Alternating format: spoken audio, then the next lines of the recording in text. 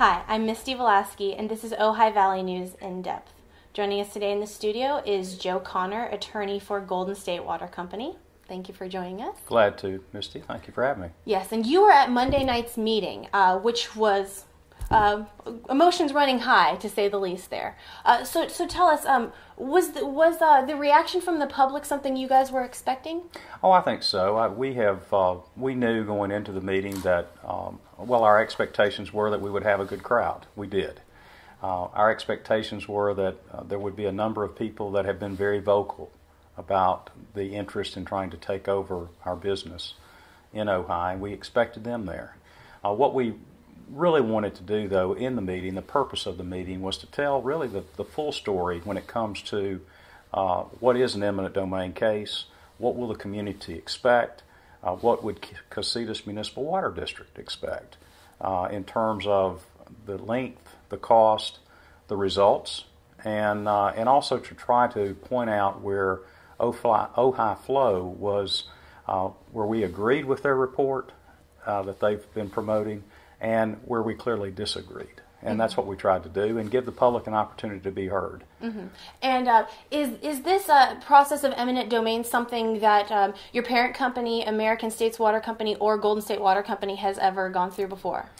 They have not gone through a full condemnation. Occasionally, there'll be uh, a community that might uh, inquire as to whether or not they could take over or uh, negotiate a, a purchase but in most instances, it's very rare that uh, either Golden State, American States, or any other investor owned water utility actually will face a condemnation. It's not common. Mm-hmm. And of course, uh, the reason for this in Ojai and the reason for all of this frustration is the fact that we look at the Golden State Water Company rates for individuals as so much higher than, say, Casitas or uh, Meiners Oaks Water. So, can you explain to us exactly why these rates are so much more expensive, in some cases, double or even triple? Well, I'm really not the best person to explain the difference in the rates. Um, my job is to defend the company and explain what occurs with an eminent domain. Sure.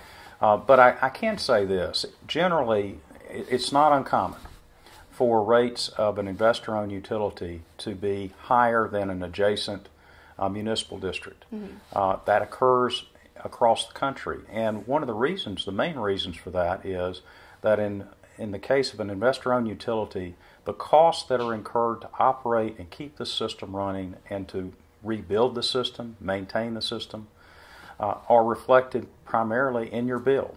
It's that's it's based on cost of service. And I know that the public they say, "Well, we hear that all the time," but still, why is that the case? Well, in the case of a municipal district or a government-owned utility, more often than not, their rates are subsidized. And when I say that, they may be subsidized by property tax. Uh, and uh, in the case of Casitas, uh, I'm not specifically familiar with all the details of their financial statement, but I knew, do know in general that some of their revenue comes from property taxes, some of their revenue comes from recreation fees, and some of their revenue comes from other charges that we don't have. So it's very difficult to compare one system to another without going into depth and to see what their true sources of revenue are. Mm-hmm. Uh, of course, you know when when someone sees the bills and the comparison, it's very easy sure. to to um, to go one way or another. Uh, another question I have is when we're looking at things like electricity and gas, you don't see a meter charge. However, with Golden State Water Company, you do have a meter charge, and that's where a lot of people are taking offense here. So, can you explain why there is a need for that meter charge? Well, it's really not a meter charge. It's a fixed monthly service charge, mm-hmm. and again, that's very common. Um, I think Casitas also has a fixed monthly service charge. We pay uh, Casitas uh, uh, $348, I believe, for a, uh, per month for a four inch meter because we buy water from Casitas to supplement our supply. And one of the claims in the Ojai flow report is that Casitas sells us water at their cost. Well, that's totally incorrect. Um, so what a minimum charge will do, though, is pay a portion of your fixed cost, but it also will uh, regulate the the level of income as it comes in, so it doesn't completely fluctuate with volumetric charges. Mm-hmm. If that makes sense. In Jefferson County, Alabama, I'm working right now on a sewer system. they didn't have a fixed monthly fee, so their revenues would go up and down. And it's very hard to plan from a budgetary standpoint unless you have a fixed monthly charge. And that's what this is. It's a rate structure that's Sure. approved by the PUC. And uh, another thing that is a big concern is we're seeing infrastructure uh, problems here around Ojai. You know, quite often we see water mains burst and things like that. So one of the things that um, we're hearing Golden State Water Company has said that you know reasons we are increasing our rates is because we are trying to improve the infrastructure. If that is in fact the case, how much money is it going to cost for the improvement of this infrastructure? Is there a timeline there? And when will we see this come up? Sure. Um, again, I don't have all that information for you today. Uh, that would be more company specific. But I've seen the numbers. Approximately 15% of the ma- major distribution lines in this community, in our system, are uh, planned. There's a plan for replacement of those over the next 10 years, I believe. And, and so there is a plan. We can tell you which streets that this is anticipated to go into, which ones we anticipate to fix and correct this year. I will say that the improvements that have been made have shown a significant improvement in the unaccounted for water percentage in our system. That's the water that's not metered, that we just lose.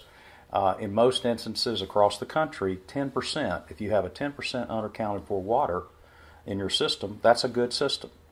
In this instance, the improvements that have been made over the past two to three years have caused our unaccounted for water percentage to go almost to 10%. It's very close to, well, it's 10.9, I believe, mm-hmm. L- right under 11%. But we've reduced our unaccounted for water percentage significantly, and it will continue to, to be reduced as we make those necessary uh, improvements. is there a specific timeline though? I mean for example are we going to say in the next 15 years we'll we'll have everything updated? Because i know that there are several of the pipelines that are 80 plus years old. Yeah, and again, I can't give you that specific timeline. We'll provide that for you, but there is a timeline, uh, and it has been submitted to the PUC. We, the good thing about investor-owned utilities, they have a plan, and they have a capital plan, and so you're not shooting in the dark. You know what needs to be done, and they have a procedure for doing it.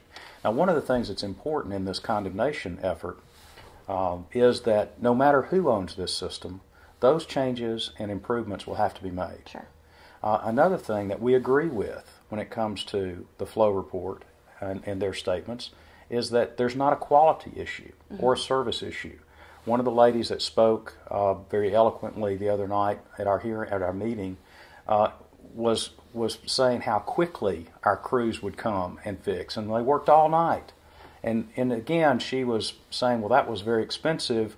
Why don't they just replace the line? Well, we're trying to do that, and you can't do it all at once. Uh, Casitas doesn't do it all at once. They have their own plan.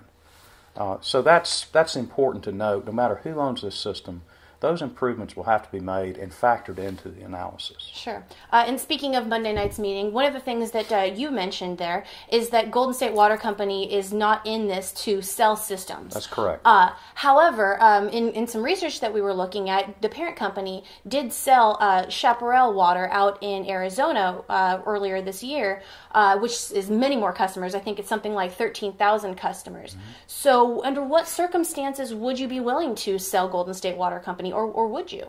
Uh, the answer to that is no, uh, and I'll tell you the what I know. They didn't retain our firm uh, to handle that sale. I hope they do next time if they have another transaction that they need some assistance on.